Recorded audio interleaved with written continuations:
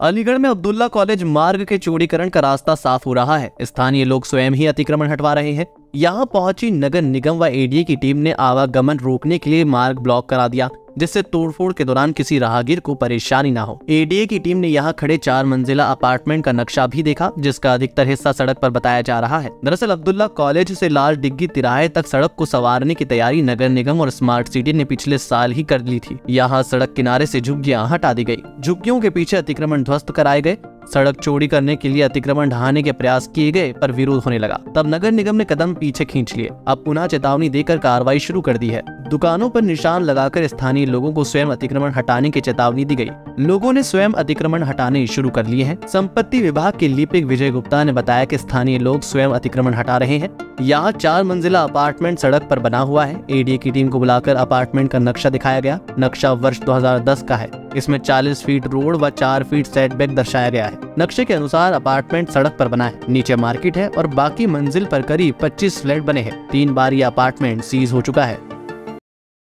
लाल डिग्गी से Abdullah girls college तक जो बीच में मकान है वो स्मार्ट रोड बन रहा है। उसमें जो रोड साइड पे जिनके मकान बने हैं दीवार आ रही है वो सब हटा रहे हैं। अभी तो अपने आप हटा रहे हैं।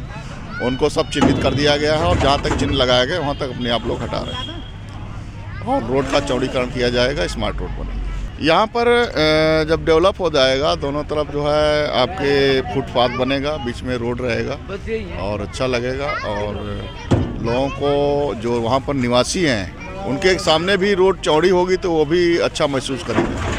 और उसमें सब कॉपरेशन कर रहे हैं, ऐसा कोई नहीं है जो उसमें कोई हिंडेंस पैदा कर रहा है। दो तीन एक एम को और जीएसटी कार्यालय है, सारी चीज़ें हैं, सबसे कॉपरेट मिल रहा और जो मकान है, जो तीन मंजिल की बिल्डिंग है, वो भी अपना लाइनअप कर रहे हैं और बहुत अच्छा सहयोग मिल रहा है। तो ये हो रहा है कि रोड चौड़ा हो रहा है।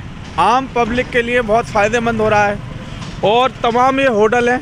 अब्दुल्ला कॉलेज है टेस्ट देने आते हैं, जाम लग जाता है इस पर तमाम ये रोड चौड़ा होगा तो सब आम पब्लिक के लिए संतुलिस्ट है, बढ़िया रहेगा। और ये होटल भी है। होटलों में भी आम पब्लिक विदेश से, अमेरिका से अफ़गानिस्तान से तमाम ये पाकिस्तान से आप विदेशों से भी लोग बाग आते हैं। उनके लिए भी राहत मिलेगी। रोड नहीं जाम होगा भाई साहब। गलत करें। ये बताइए कि बिल्कुल पब्लिक के लिए बहुत संतुलित और बढ़िया काम हो रहा है। इसे गवर्नमेंट करा रही है फ़ायदेमंद करा रही है आम पब्लिक के लिए। अब तो ये घर वाले स्वयं तोड़ रहे हैं ना? जी हाँ ये घर वाले हम स्वयं तोड़ रहे हैं उसके बाद जो नहीं तोड़ेगा उसके बाद बुलडोज़र बाबा का आएगा। और उसको तोड़ा जाएगा। किसी के लिए बख्शिश नहीं करी जाएगी।